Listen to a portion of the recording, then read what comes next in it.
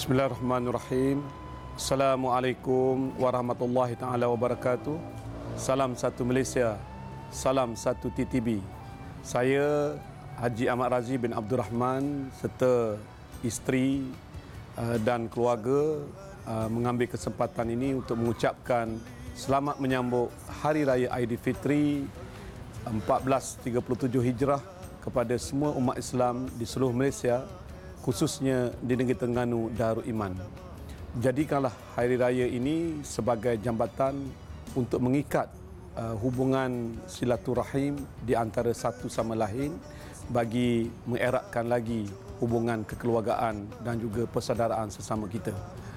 Di kesempatan ini juga saya mengambil kesempatan uh, untuk uh, mengucapkan selamat pulang ke kampung halaman terutama kepada anak-anak perantau khususnya anak-anak daripada negeri Terengganu dan pastikan semasa pulang ke destinasi masing-masing pastikan kenderaan berada dalam keadaan yang baik dan selamat tiba di destinasi masing-masing. Semoga hari raya ini kita dapat raikan dalam suasana muhibah dan penuh kesyukuran. Salam Aidilfitri 1437 Hijrah.